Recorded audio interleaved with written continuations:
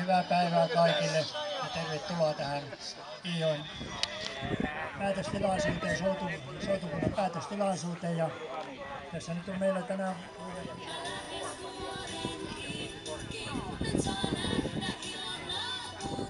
Niin, se oli vesikin ruvennut nousemaan. Pekkasen pani liikkeelle. Joo. Tässä musta on yhtä rouvaa kävä jutu. Jätkää, kun tulee. Ei sun. No niin, hyvä soutuväki, tervetuloa ennen kaikkea. Toivotan tervetulleeksi kansanedustaja Hanna Sarkkisen. Me tuossa tehtiin jo ihan niin kuin minä vanha mies uskallan jo sanoa, niin tehtiin jo sinun kaupat. Se oli minusta oikein mukava temppu. Ja ensimmäisenä tässä nyt on terveyssanojen vuoro ja senhän pitää kyläpäällikkö Jukka Vähkylä. Olepa hyvä.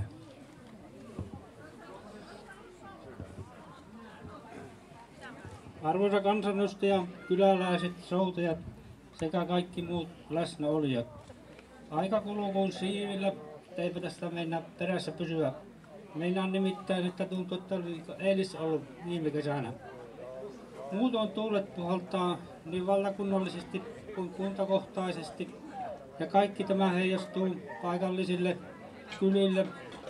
Vastuuta ollaan siirtämässä enenemässä väärin aivan kylätasolle.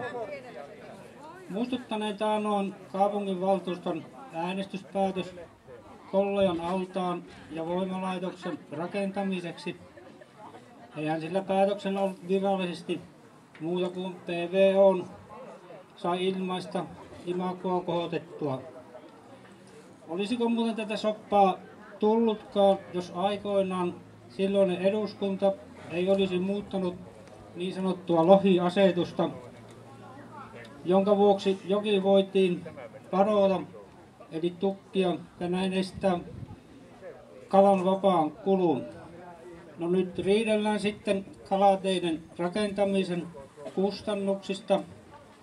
PV on kuitenkin lupautunut hyvin pienellä osuudella mukaan, eli yksi tekee vahingon ja saa hyödyn ja yhdessä sitten korvataan jälkiseuraukset. Niinpä Iijoki se on soutua jatkettaneen vielä niin ties kuinka kauan. Kiitoksia.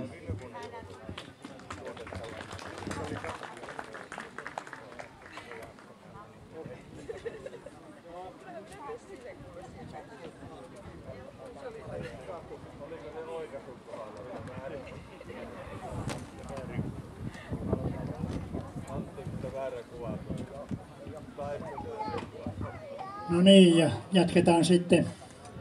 Terveyssanojen jälkeen puhumassa on, olikohan Räisänen paikan päällä? Oli. Räisänen kuulemma ei puhu mitään, vaan on semmoinen ajatus meillä tässä on kehkeytynyt aamupäivän aikana, että ja äh, Räisänen esittelee muutamia asioita ja sitten Räisänen jälkeen minä itse sanon muutaman sanan tästä menehtyneestä kyläläisestä. Tämä on se järjestys ja tämän meidän puheenvuoron jälkeen seuraapi Hanna Sarkkisen puhe. Joten ku- kuunnellaan kaikki hiljaa tämä, mitä täältä kuuluu. Kiitos. Tervehdys kipinäläiset, soutajat ja kaikki tässä tällä kentällä seisoskelevat. Jou, joukostamme on poistunut merkillinen, me, merkillisen tai semmoinen hyvä persona, ja tuota, jota, jota kipinäläiskin haluavat muistella ja myös minä ja kaikki soutajat. Hän on jättänyt niin lähtemättömän jäljen tähän soudun historiaan. Ja tuota, näinhän se käypi. Kerran loppuvat askelet vaeltajilta. Kukin vuorostaan on nukkuva syliin maa. Vaan katso, kaikki he kuitenkin mukana ovat, nekin, joiden tomu on uupunut vaeltajaan. Ja sitten, niin kuin Kipinäiskin on toivonut, että täällä muistetaan Heikkiä ja no, tässä nyt on, on muisteluksia Heikille ja Tämä on kipinläisten toivomuksesta, mitä minä olette.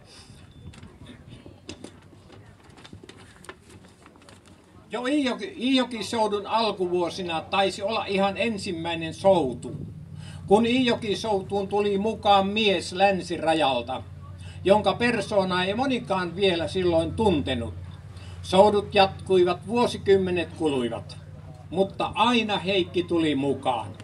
Miehestä tuli soudun ikoni, tunnus, jonka jämerää hahmoa ja uljasta ounasvenettä totuttiin pitämään kuin soudun sieluna, lippulaivana. Niin se olikin. Venepuuta, miespä rautaa. Ja uskollisuus soutua kohtaan oli aitoa. Huolta, aitoa huolta loppujen luontoarvojen puolesta taistelijana. Heikki oli persoona, todellinen koskisoturi, kuten eräs kipinäläinen rouva Heikkiä kuvasi.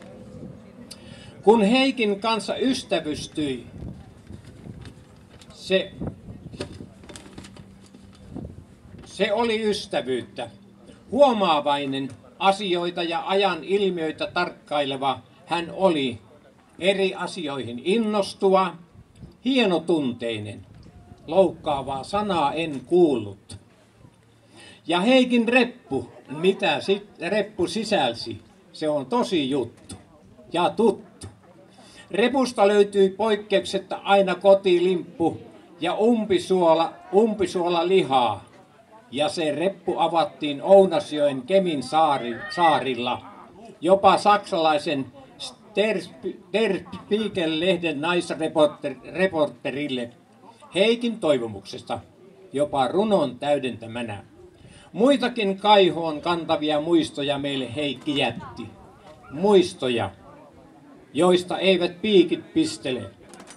Nelson Mandelan sanoin voi lopuksi todeta, elämämme tekee merkityksellisi, merkitykselliseksi se, mitä me olemme tehneet muiden ihmisten elämien eteen.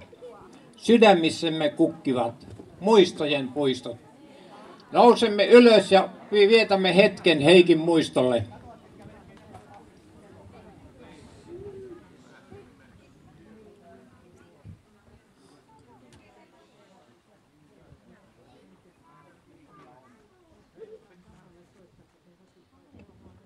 Kiitos.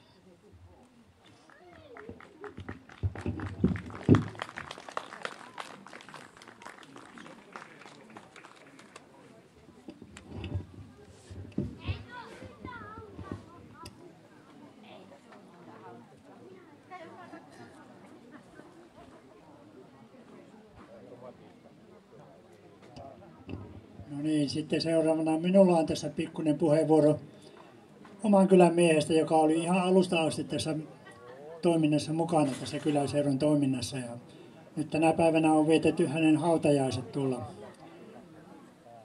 kirkkomaalla. Matti oli tosiaan semmoinen kaveri, joka kaikkien kanssa tuli toimeen. Ja jos minä saan kertoa semmoisen yhden metästystarinan, tämä ei kestä kauan aikaa.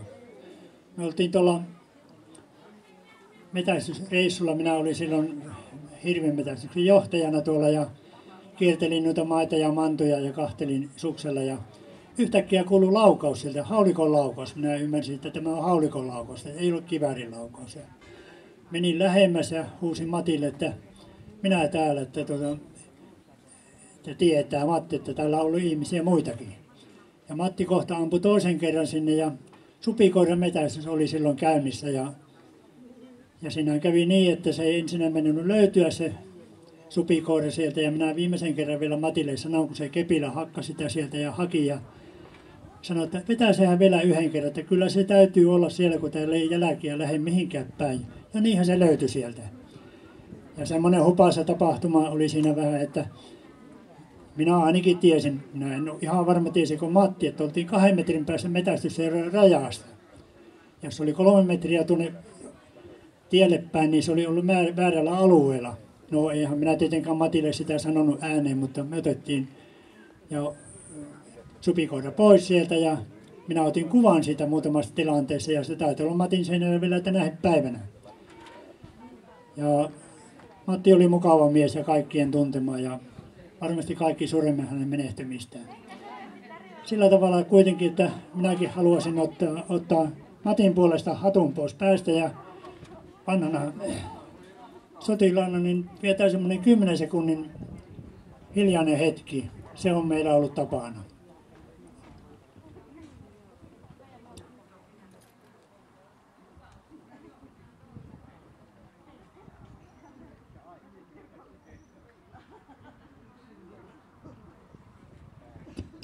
Kiitoksia.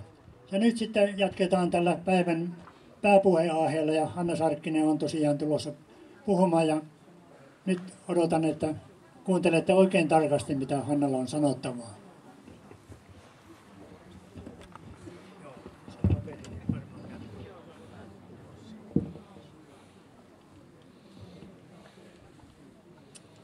Kiitoksia ja tosi kiva olla täällä ja mukava nähdä teitä kaikkia soutajia, kyläläisiä ja muita Iijoen ystäviä. Iijokisoutua soudettiin tänä vuonna jo, oliko se 34. kertaa. Voidaan siis helposti puhua jo vakiintuneesta peräpohjalaisesta traditiosta ja tapahtumasta. Tämä on hieno tapahtuma, sillä tässä yhdistyy luonnossa liikkuminen, yhteisöllisyys ja kylätapahtumat, kulttuurihistoria, mutta myös poliittinen sanoma. Iijokea voi tulla soutamaan hyvin monenlaisista syistä. Ja mun täytyy myöntää, että mä oon hieman kateellinen teille, jotka olette päässeet tänä vuonna osallistumaan tähän soutuun. Olisi itsekin ihana päästä rauhoittumaan luonnossa pitkän ja työntäyteisen kevään jälkeen, mutta ehkä ensi kesänä saa raivattua kalenteristani tilaa ja tulen, tulen soutamaan sitten ensi kesänä ja aloitan sitten kesänvieto sillä tavalla. Yritetään ainakin, mutta kiitoksia mahdollisuudesta laskea kuitenkin tämä Kipinän koski. Tämä oli unohtumaton elämys. Tämä Iijokisoudun poliittinen puoli on taas tänä vuonna ja tällä hetkellä ajankohtaisempi kuin se on ollut pitkään aikaan. Ja täytyy sanoa, että valitettavasti. Ajankohtaisen siitä tekee henkiin herätetyt Kollajan altaan suunnitelmat ja puheet koskiensuojelulain avaamisesta. Voimayhtiö haluaa kasvattaa liiketoimintaansa ja lisärakentaa Iijokea. On kuitenkin valitettavaa, että myös Pohjois-Pohjanmaan liitto ja Pudasjärven kaupunki on lähtenyt ajamaan uusia kollajasuunnitelmia, vaikka asia jakaa väkeä täällä Iijokin varressa erittäin voimakkaasti. Toisaalta kansallinen kalatiestrategia ja vaelluskalakantojen palautushankkeet ja pyrkimykset koskettaa samaan aikaan voimakkaasti myös Iijokea, sillä kuten kaikki täällä tietää varmasti minuakin paremmin, on se, että Iijoki on eräs Suomen potentiaalisimmista vaelluskalakantojen vahvistamiskohteista ja tärkeä myös Itämeren lohen kannalta. On tosi skitsofreenista, että samaan aikaan suunnitellaan kollea allasta, joka heikentäisi joen tilaa ja kalakantoja, ja sitten toisaalta samaan aikaan tehdään suunnitelmia kalakantojen elvyttämiseksi. Ja samat tahot tekevät näitä molempia yhtä aikaa. Luonnonvarakeskuksen selvityksen mukaan Kollajan rakentamisella olisi laajoja vaikutuksia jokeen ja niiden minimoiminen vaatisi valtavia muutoksia Pohjolan suunnitelmiin. Selvityksen mukaan kollaja rakentaminen ei välttämättä estäisi vaelluskalojen palauttamista Iijokeen, mutta se vaikuttaisi negatiivisesti Iijoen vaelluskalakantojen elvyttämismahdollisuuksia potentiaaliin. Tästä kaikesta herää se kysymys, että tietääkö oikea käsi, mitä vasen käsi tekee. Kalakantojen, Iijoen tilan ja ilmastovaikutusten kannalta olisi parasta jättää kollajasuunnitelmat pöytälaatikkoon ja keskittyä tekemään kalakantoja vahvistavia toimenpiteitä. Oikeastaan kollajasuunnitelmat voitaisiin jo vihdoinkin repiä ja polttaa ja tuhkat ehkä haudata vielä maahan. Kollajan energiataloudellinen merkitys on kansallisesti aivan marginaalinen. Olisi silkkaa typeryyttä ensin heikentää Ijoen tilaa ja kalakantojen elinmahdollisuuksia ja sen jälkeen taas pohtia, että miten kalakantoja voitaisiin elvyttää.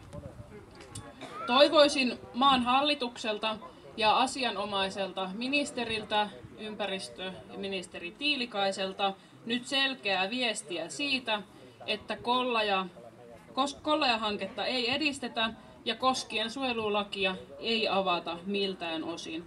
Paikalliset ihmiset täällä jokivarressa ansaitsee vihdoin rauhan jatkuvalta soutumiselta ja huopaamiselta Kollajan ympärillä. Hyvät Iijoe-ystävät, Kollajan alta Varjo Iijoen yläpuolella on synkeä, mutta tekoja joen ja vaelluskalakantojen eteen voidaan silti tehdä. Hallitus on korvamerkinnyt 7 miljoonaa euroa kansalliseen kalatiestrategian toteuttamiseen ja Iijoki on potentiaalinen kohde ja toivottavasti rahaa näihin hankkeiden toteuttamiseen saadaan todella tänne Iijoelle kalateihin ja muihin hankkeisiin. Nämä valtion rahat ei kuitenkaan poista sitä tosiasiaa, että päävastuu vaelluskalakantoja tukevista toimenpiteistä on haitan aiheuttajalla eli voimayhtiöllä. Vanhoja istutusvelvoitteita tulisikin tarkastaa uudelleen ja säätää ne kohdelleen uusimman tieteellisen tiedon valossa ja maksimaalisen vaikuttavuuden näkökulmasta ja todellisen aiheutetun haitan määrän pohjalta. Joka tapauksessa kuitenkin toivon, että mahdollisimman paljon valtion kärkihankerahaa saadaan tänne IOelle ja vaelluskalakantoja tukevat hankkeet etenisivät, mutta voimalaitosyhtiön täytyy kantaa asiassa sille kuuluva vastuu. Kalatiet ja istutusvelvoitteet ei kuitenkaan ole ainoa asia, joka vaikuttaa kalojen ja muiden vedeelävien elinvoimaan. Veden laatu on yksi merkittävä tekijä niin kalojen kuin raakkujenkin kannalta. Usein puheessa keskitytäänkin vaelluskaloihin, mutta on muistettava, että Iijoki on merkittävä raakkujoki ja raakkujen suojelu on yksi Suomen vastuulla oleva tärkeä asia ihan Euroopan laajuisestikin. Vedenlaatuun vaikuttaa suuresti maankäyttö. Turpeenotto on yksi vesistöjen tilaa suuresti vaikuttava asia. Myös metsäojitukset, metsätalous ja maatalous vaikuttaa vesistöjen tilaan. Koska turpeotto ei realistisesti ajateltuna tule vielä lähivuosikymmeninä Suomesta loppumaan, niin vesistöjen tilan kannalta on olennaista ohjata turpeottoa siten, että vaikutukset vesistöihin olisi mahdollisimman vähäiset. Lisäksi pitäisi tehdä toimia vanhojen tarpeettomien metsäojitusten tukkimiseksi ja ohjata maa- ja metsätaloutta mahdollisimman vähän vesistöjä kuormittavaa suuntaan. Iijoen ja vesistöjen ja niiden eli, eliäimistön tilaan vaikuttavia asioita on paljon, ja jos me Suomessa halutaan pitää meidän vesistöt hyvässä kunnossa ja palauttaa vaelluskalat, niin kaikkien toimenpiteiden ja kaikkien politiikkatoimien pitää toimia samaan suuntaan. Luonto toimii kokonaisuutena ja me olemme lopulta täysin riippuvaisia luonnosta ja sen kantokyvystä. Se meidän ihmisten pitäisi jo oppia ymmärtämään. Meidän ihmisten Suomessa ja muualla pitää siirtyä elämänlaatua hakemaan muistakin asioista kuin materiaalisen kulutuksen jatkuvasta lisäämisestä. Meidän elämäntapa uhkaa ympäristön kantokykyä, mutta se ei myöskään tue meidän ihmisten henkistä hyvinvointia. Jatkuva pikajuoksu enemmän ja nopeammin tuhoaa ympäristön, mutta se tuhoaa myös lopulta ihmisen. Elämänlaatua ja elämyksiä on mielekkäämpää hakea tavaran ja kulutuksen sijaan luonnosta, kulttuurista ja toisten ihmisten seurasta, ja siitähän tässä Iijoki-soudussakin on kyse. Suomessa ja erityisesti täällä Pohjois-Suomessa on hyvä ymmärtää, että meillä on käsissämme aivan valtava aarre. Tilaa, hiljaisuutta ja puhdasta luontoa. Se on valtava voimavara asukkaille, mutta se on potentiaali myös aluetalouden kannalta. Luonto- ja kalastusmatkailu on suuri potentiaali niin täällä Iijokivarressa kuin muuallakin Pohjois-Suomessa. Meidän täytyy ymmärtää meidän vahvuutemme ja markkinoida myös niitä. Me ei voida kilpailla matkailijoista Euroopan suurkaupunkien kanssa shoppailumahdollisuuksilla, mutta me voidaan tarjota jotain aivan erilaista, jotain aivan erilaisia kokemuksia. Pudasjärvi ei voi houkutella asukkaita valtavilla ostoskeskuksilla, mutta se voi tarjota asukkailleen tilaa, luontoa ja elämänlaatua. Ja se on jotain kestävämpää ja paljon elämyksellisempää, ja niitä löytyy myös täältä Kipinen kylästä. Mutta näin lopuksi haluan onnitella soutajia ja järjestäjiä ja kaikkia kyläläisiä jälleen kerran onnistuneesta Iijoki-soudusta. Toivotan Iijokisoudulle pitkää ja hyvää tulevaisuutta, mutta samalla kuitenkin toivon, että soudun poliittinen merkitys ei enää tulevaisuudessa olisi yhtä polttava. Toivottavasti asiat kehittyisivät siihen suuntaan, että tulevina vuosina Iijokisoutujen puheessa ei tarvitsisi enää Kollaja-hankkeesta puhua tai esittää huolta vaelluskalakannoista. Toivottavasti tulevaisuudessa voidaan enemmän keskittyä luonnossa liikkumiseen, kulttuuriin ja yhteisöllisyyteen. Erittäin hyvää kesää kaikille.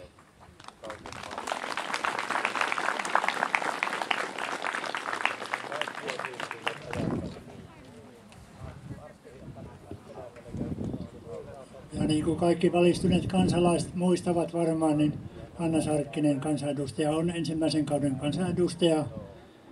Ja kiitoksia puheesta kaikkien puolesta. Nyt seuraavana on Sami Myllymäki ja hän on näitä soutupäällikkö tänä vuonna ja hiljatakaamme kuuntelemaan hänen puhetta.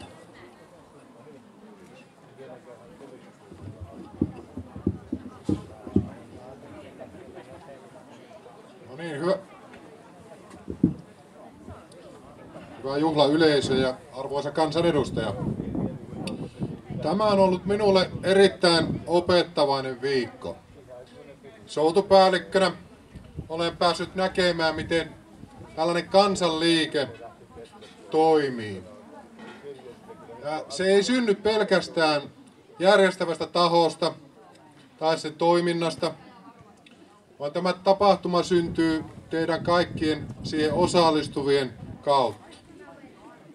Soutajien, perämiesten, kajakki- ja kanottimelojien, kyläyhdistysten yhdistysten talkoolaisten ja erilaisten persoonien keitoksesta. Ja se juuri tekee Iijoki Soudusta ainutlaatuisen tapahtuman. Voidaan sanoa, että yhteinen viikko joella tekee soutuperheen, jonka tapaamista jää taas vuodeksi odottamaan. Haluan kiittää kaikkia järjestelyihin talven mittaan ja tämän viikon aikana osallistuneita. Anitaa ja hänen johdollaan toimineita turvameloja, Veltsua ja Taistoa turvallisista koskelaskuista. Ja erikseen haluan vielä kiittää soutukonkareita, jotka ovat olleet tälläkin viikolla mukana soudussa joko veneessä tai rannalla apua tarjoten. Ja ihan viimeisenä asiana kollaja kestää. Kiitoksia.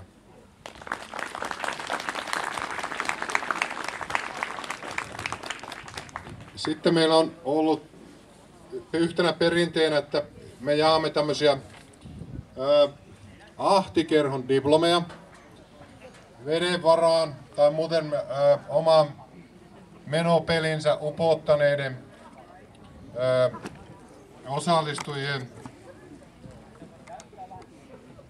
ää, tai osallistujille. Mä luen tämän, mitä tässä diplomissa sanotaan, eli veen väkevä, väet näkevä, ahti aalloissa ajeli, nosti joukkiot joesta, virrasta veen alaset, piiat pojat pintehestä, rannalle rapakivelle, helteiselle hiesikolle, kutrejansa kuivaamahan, kiittämään kesäilosta, päivästä pelastetusta. Ja, ää, ensimmäinen diplomi menee Hanna Lehtoselle,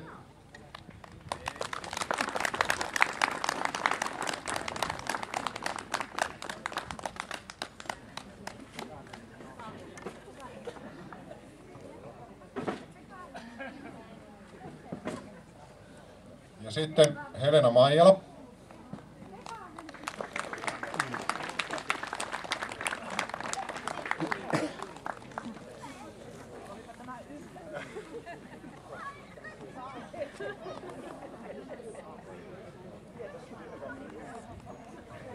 Ää, Vuokko Moisala.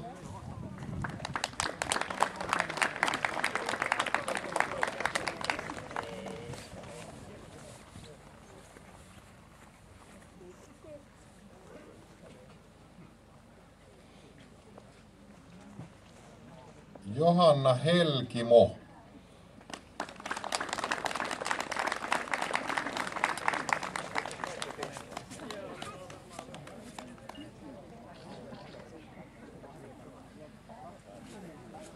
Ja vielä Saara Salmela.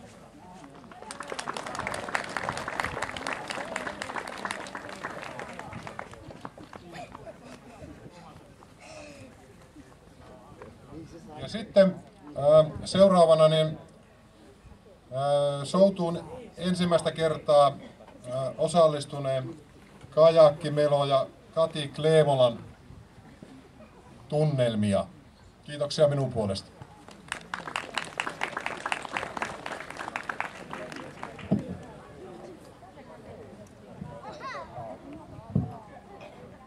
Tervehdys vaan kaikki ihanat melojat ja soutajat ja Iijoen ystävät.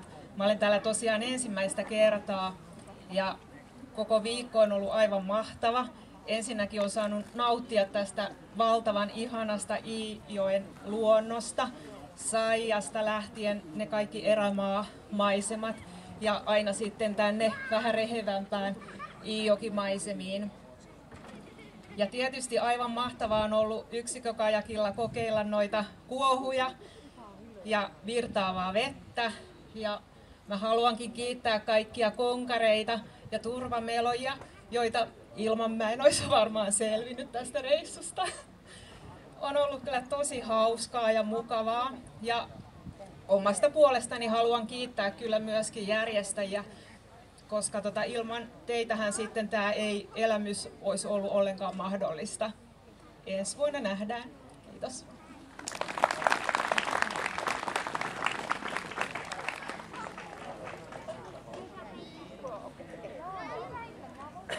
Sitten varmaankin on soutajissa vielä puheenvuoron haluajia, niin tänne pääsee puhumaan kuka vaan. Olkaapa hyvä, kellä sattuu olemaan vielä asiaa. Minä olen Pirin Pekka ja ollut alusta asti Soulussa. Tämä on nyt 34. kerta. Aikanaan lähti Kuusamossa, kesti seitsemän päivää, mutta se lyhennettiin, koska se oli liian raskas Ja on päädytty tänne Kipinään. Tämä on hieno tapahtuma, kun saadaan tähän Kipinään kipinää tuota tulla. Kolla ja kesti. Eero Räisänen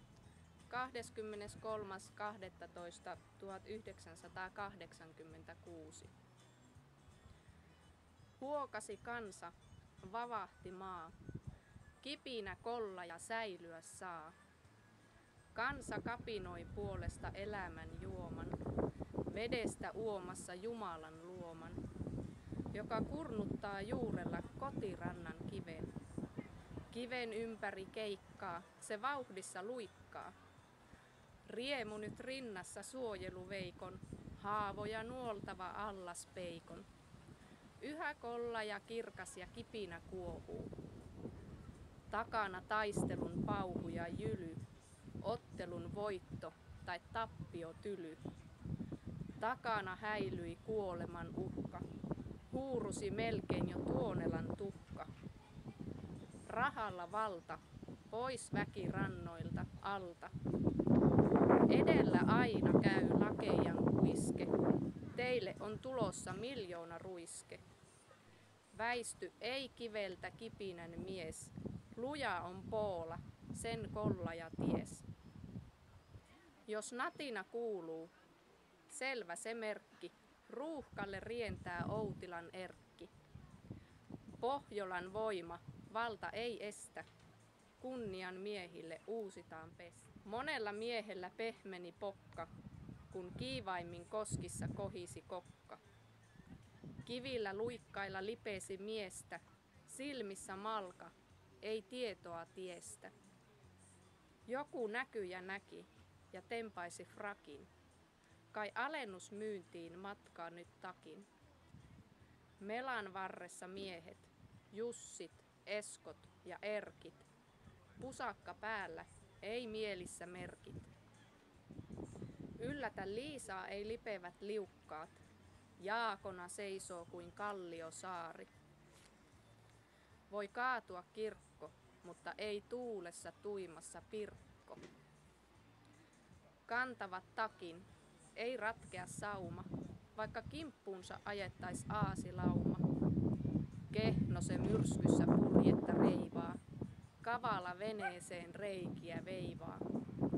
Pois paatista katit ja tupajumit, uikoon rannalle rankana katti.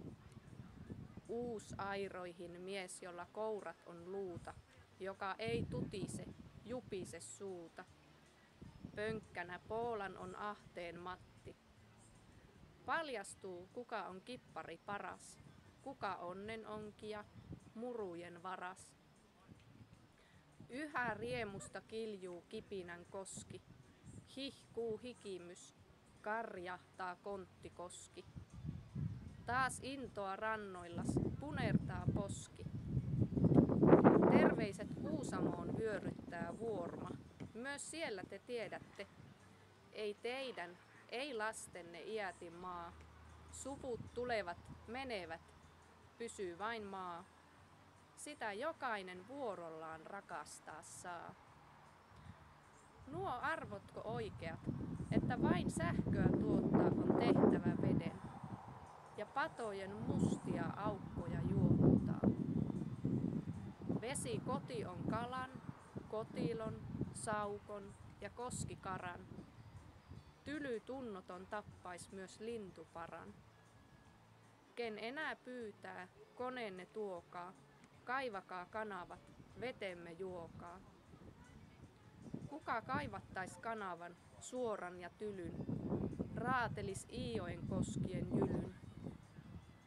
Kipinän kiusaajat usmien yöhön, rauha nyt rannoille kipinän kansan.